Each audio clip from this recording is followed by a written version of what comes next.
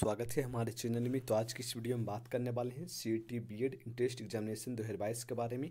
जैसा कि आप लोग जानते हैं कि सी टी बी एड दो हज़ार इक्कीस ललित नारायण मिथिला यूनिवर्सिटी के द्वारा कंडक्ट कराया गया था। इस बार भी ललित नारायण मिथिला यूनिवर्सिटी द्वारा सी टी बी एड दो हज़ार बाईस कंडक्ट कराया जाएगा, जिसका अप्लीकेशन आप लोग को कब से स्टार्ट हो जाएगा और कब से कब तक भराएगा सारी जानकारी आप लोग इस वीडियो में देने वाले हैं। तो इस वीडियो को पूरा देखिएगा। चलिए आप लोग बताते हैं। साथ ही चैनल को सब्सक्राइब कीजिएगा और टेलीग्राम चैनल को ज्वाइन कर लीजिएगा।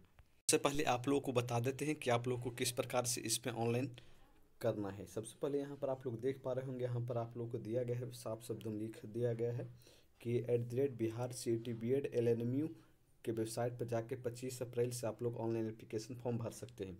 और उसके बाद फिर दिया गया है इसके लिए ललित नारायण मिथिला यूनिवर्सिटी को नोडल विश्वविद्यालय फिर से बनाया गया है और सूचना तेईस अप्रैल दो हज़ार बाईस को दी जाएगी। यानी कि इसके बारे में आप लोग को सूचना दी जाएगी तेईस अप्रैल को।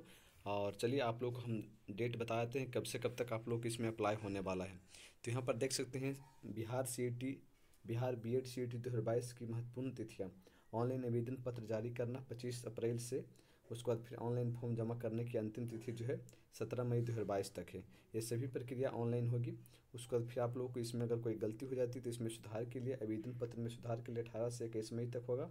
प्रवेश पत्र की उपलब्धता जून दो हज़ार बाईस के दूसरे सप्ताह से परीक्षक तिथि तेईस जून से ली जाएगी।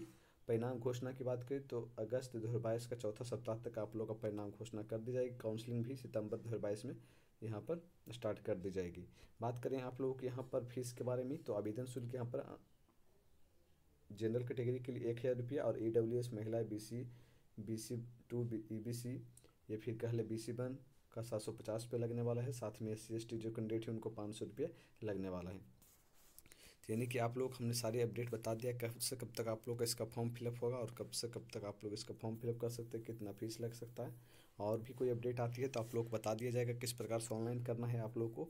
जब पच्चीस अप्रैल को फॉर्म भराएगा तो आप लोग उसमें हम बता देंगे। चलिए मिलते हैं नेक्स्ट वीडियो में, तब तक के लिए जय हिंद, जय भारत।